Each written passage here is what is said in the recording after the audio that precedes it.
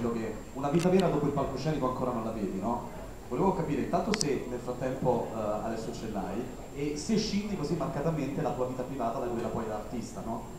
Sì, da quella che, che hai sul palcoscenico. Assolutamente, ecco, quello era, eh, credo che il mio essere Dr. Jekyll e Mr. Hyder sia ancora lì.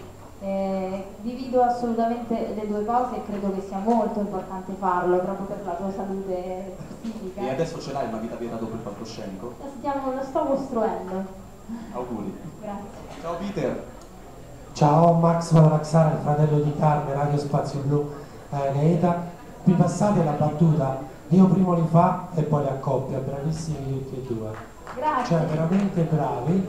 E se Peter Sincotti ci può accennare, facciamo questo piccolo, uh, un piccolo sample di Cinderella Beautiful che sicuramente avrà cantato Simone.